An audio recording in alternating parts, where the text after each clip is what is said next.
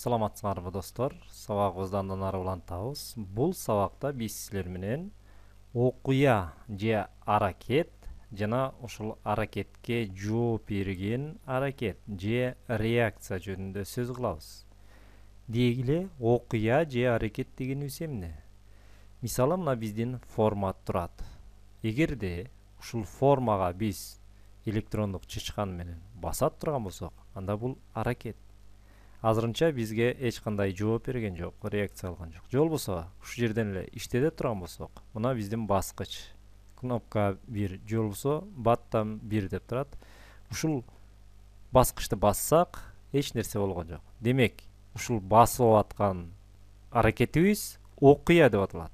Ал эми биз баскандан кийин дагы бир башка аракет аткарылса ал ошол иштетилген аракет же болбосо баскан аракетке жасалган реакция деп аталат мына ушуларды кантип иштетебиз дельфи программасында. Бул сабакта ошол окуя жана окуяга аракет жасалган реакция жөнүндө сөз кылат экенбиз анда эмесе баштайлы. Демек окуя же реакция панелиндеги events деген тиркемеден алабыз мына бул жерде эгерде форманы ала турган болсок бир нече аракеттер турат же болбосо ушул аракетке жараша жасалуучу реакциялар.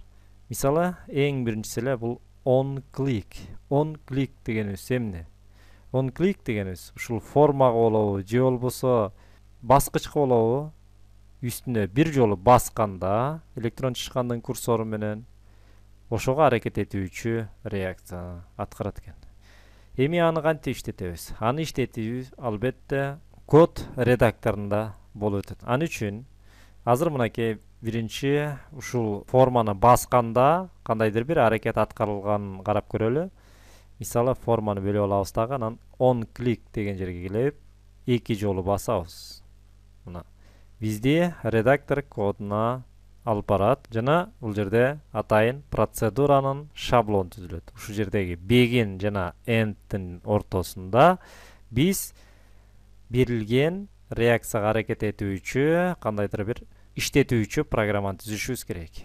Эми биз эң жөнөкөй close деген программа башкача айтканда аракетти түзүп коелу. Демек begin жана endтин ортосунда close. Жана үтүрлүү чекит менен аяктайбыз болду бул эмне дегенди түшүндүрөт демек эгерде ушул формабызга курсор менен баса турган болсок формабыз жабылышы керек. Кана иштетип көрөлү. Мына азыр келип формага бассак форма жабылып калды. Демек биздин аракет ишке ашты. Ошондой эле аракетти биз баскычка коелу. Демек ал үчүн баскычты бөлүп алабыз дагы. Ошол events тиркемесинен on click деген жерден эки жолу басабыз. Мына бизди дагы эле процедурага жөнөтүп атат. Begin endтин ортосуна кайрадан close деп жазабыз.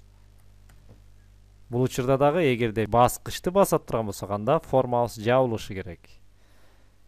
Кана көрөлү иштетебиз. Мына баскычка келебиз дагы бассак формабыз жабылды демек биздин программабыз иштеп атат демек окуя жана окуяга жасалган иштетилген аракет жөнүндө түшүндүңөр деп ойлойм башкача айтканда окуя дегенибиз ушул баскычты бассак же ошол баскычтын үстүндө курсорду алып өтсөк же болбосо форманын үстүнө курсорду алып өтсөк мына бул жердеги баскычтарды басуу дагы форманы кичирейтип чоңойтуу дагы бул окуяга кирет же болбосо аракетке кирет жана ушунун ар бирине программада аракет этүүчү ар кандай иш аракеттерди программалап түзсөк болот экен. Эми ошондой эле мисалы бир объектин басуу менен экинчи объектинин ар кандай параметрлерин өзгөртсөк да болот экен. Аны кантип өзгөртөбүз? Мисалы биринчи программам деген баш сөз сапчасында жазылып турган жазууну көрүп турабыз биз азыр мындай программа түзүп көрөлү демек баттан же болбосо баскычты бассак биринчи программам деген сөз өзгөрүш керек. Аны кантип түзөбүз ал үчүн демек окуяны мына ушул баскычка жазышыбыз керек. Анда азырынча муну өчүрүп салалы. Баскычты бөлүп алабыз дагы. Он клик эки жолу бассак мына close деген жерде турат. Closeду өчүрөбүз дагы. Эмне деп жазабыз? Демек баскычты басканда форманын биринчи программам деген сөзү өзгөрүш керек. Демек биринчи программам деген албетте формада caption башкача айтканда баш сөз сапчасы болуп саналат. Анда биз жазабыз бул жерге. Form бир. Башкача айтканда ошо баскычты басканда form бирдин касиети өзгөрүш керек. Демек form бир жана it мына бул жерде автомат түрдө жардамчы сөздөр келип чыкты. Бул жерден биз caption дегенди тандап алабыз. Capsны жазсак. Caption мына. Captionду тандап алабыз дагы жана ый карабыз. Барабар. Тырмакчанын ичине бир тырмакчанын ичине жазышыбыз керек. Өзгөрүү деп коелу. Же болбосо өзгөрүү. Өзгөрүү. Башкача айтканда үтүрлүү чекит менен ажыратабыз. Башкача айтканда бул программаны иштетсек анда ушул баскычты баса турган болсок анда форманын баш сөз сапчасы өзгөрүш керек өзгөрүү дегенге гана иштетип көрөбүз. Басабыз өзгөрүү. Демек өзгөрүп атат.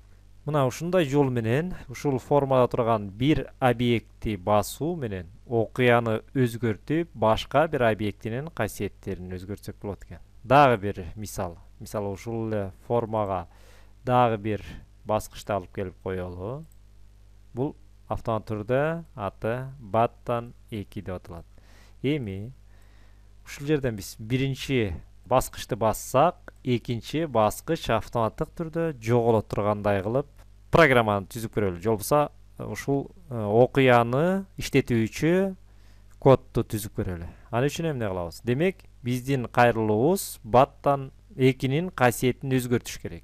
Ал үчүн биз баттан бирди эки жолу басабыз дагы мына бул жерден form бир дейбиз башкача форманы өзгөртпөстөн. Баттан экинин же болбосо экинчи баскычтын касиетин өзгөртүшүбүз керек. Демек жазабыз бул жерге. Баттан эки чекит сөзсүз түрдө демек муну көрсөтпөш керек. Башкача айтканда муну басканда бул жок болуп кетиш керек көрсөтүү же көрсөтпөө visible деген кызматчы сөз менен ишке ашат. Демек вны койсок эле visible деп чыкты мына. Булыйын boolean деген типте boolean дегенибиз бул false же true деген эки маанини берет false дегенди берсек анда биздин баскычыбыз көрүнбөй калат а true десек анда эле турат анда false дейбиз дагы ыйгаруу барабар false деп жазабыз false деген демек көрсөтпөй калыш керек.